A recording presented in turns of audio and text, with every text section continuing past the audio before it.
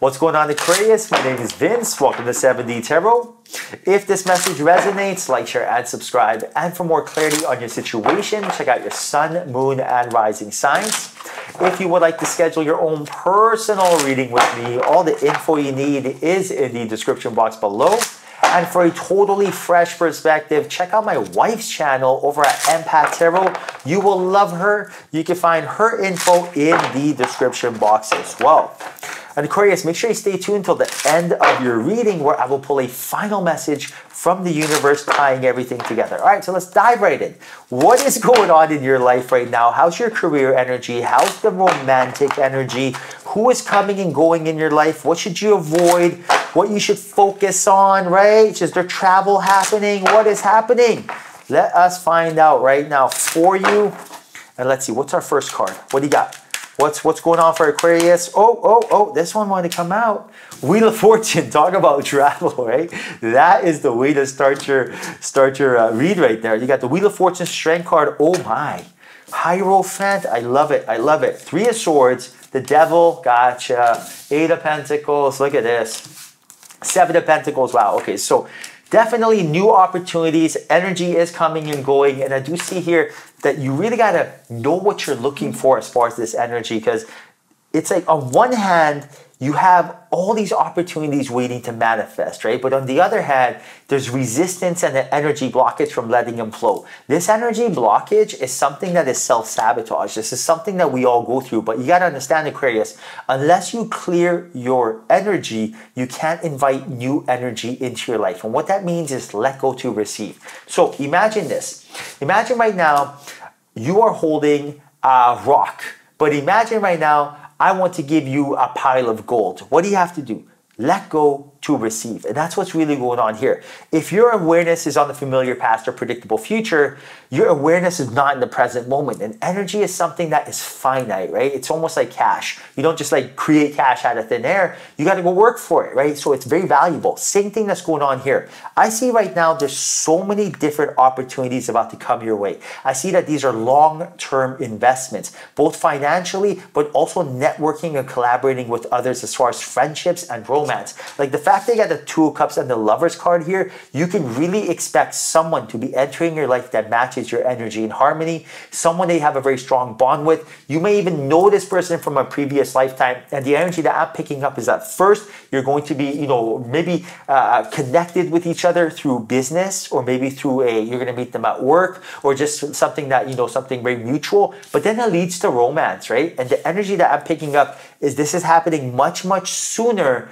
rather than later. And right now, if your focus and awareness is on something that is not paying dividends, we're going to miss the boat. Now, I'll give you an example, right? Imagine if we had a toothache, it hurts. Now imagine all we're doing is focusing on this. Oh man, my tooth hurts so much. And imagine all of a sudden you get a knock on your door. Dun dun dun. Someone says, Hi, how are you? I just want to introduce myself. I moved across the hall or across the street and my name is so and so. And imagine your tooth hurt. You'd be like, Yeah, yeah, sounds good. We'll talk later, right? So that person's like, Oh, okay and they just walk away. Now imagine if that was your soulmate. Imagine because your awareness was on something else, we weren't able to see them for who they truly are. And that's the energy that I'm picking up. Opportunities are coming your way, but you got to be ready, Aquarius. Your focus has to be there. And I do see here the opportunities may come when you're potentially traveling, right? The fact that you had the Wheel of Fortune here, now this means that it might be out and about. So, for example, at a coffee shop. Maybe you're at a, at a barbecue. Maybe you're at a weekend getaway. Maybe it's a vacation, but you're going to be in a setting that is not your regular, typical home setting, right? So you're going to be meeting this person almost when you least expect it. And that's how it works, you know? Whenever we're like, how am I going to meet my soulmate? When am I going to meet my soulmate? That is lack. That is the, that lack does not create a thought of abundance. Like, for example, you will never control how, when, where. That is up to spirit. So for example, you might be at a coffee shop, get a tap on your shoulder. Hey, how you doing? I ordered the same drink. Wow, is it good? Great. By the way, just want to introduce myself. I like your energy, right? That is how you're going to meet your soulmate. So we, it's unpredictable, but you have control over, you know, how quickly you meet your soulmate. And in that, in that sense is you always manifest who you are, not what you want. So the more magnetic you are, the more high vibration you are, the sooner this happens. So your number one priority in life should just be being in a high vibration. Because when you're in a high vibration, soulmates, love, wealth, happiness, it all comes to you. It, you got to understand people opportunities and energy loves to be around a high vibration. They can't help themselves. You know how like bees love flower flowers? Like they love pollen? They gotta get it same thing. Everyone wants to be around the winning team. Uh, Aquarius, you are the winning team when you are confident. You are the winning team when you are shining.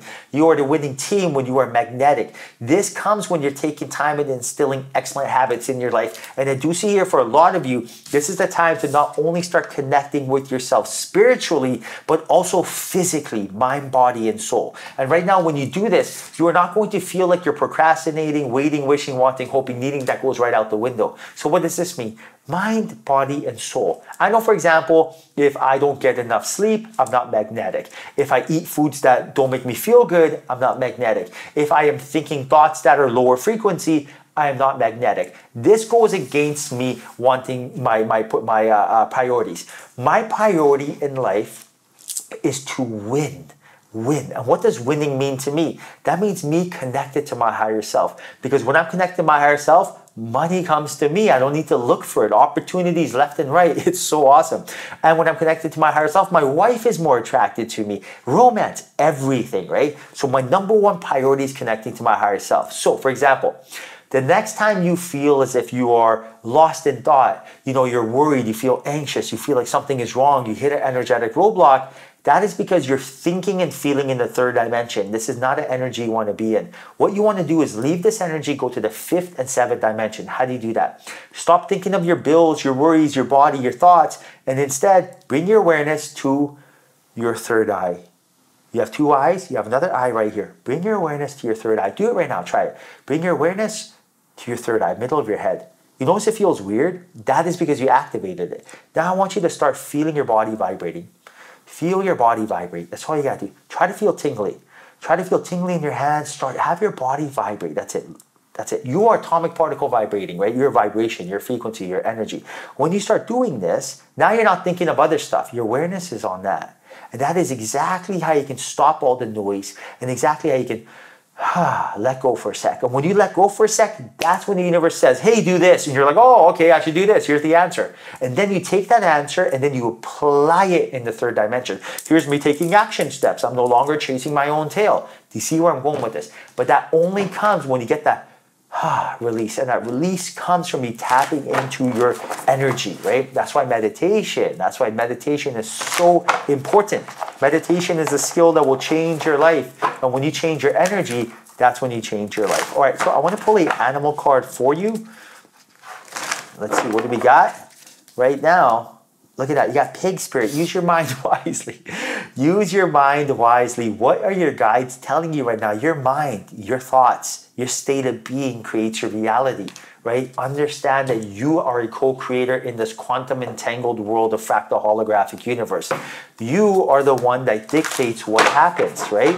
The power is in your hands. But are we aware of it? You're not waiting for stuff. Stuff is waiting for you, right? It's like you're waiting for people to show up to the party, but the party is waiting for you to show up. You know what I mean? And right now, the universe wants you to know that. All right, now, final message for Aquarius from the universe. Universe, final message, please, for Aquarius. What should Aquarius focus on right now? And the message is be gentle with yourself. Look at that. Wow, be gentle with yourself. Now, it's number 33. That's a synchronicity. And the message is a time of new birth and energy is upon you. Draw on the lessons you have learned to assist you in moving forward. Notice how you have grown and changed as a result of everything that has transpired. Gather information as you go and be ready for new adventure.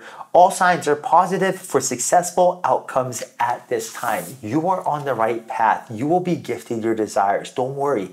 Everything is going to work itself out. Aquarius, it is your birthright to be rich and be with your soulmate. You don't need to ask this anymore. Don't ask yourself, is this going to happen? It is going to happen.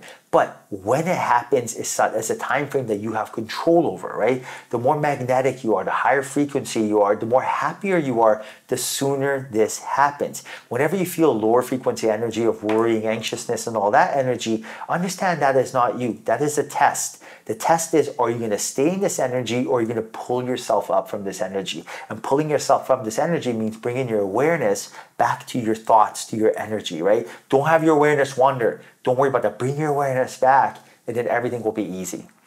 Alright, Aquarius, I hope you enjoyed your reading. Hope there was a message in here for you. If there was, like, share, and subscribe. Thank you, thank you. Till next time, honor your soul.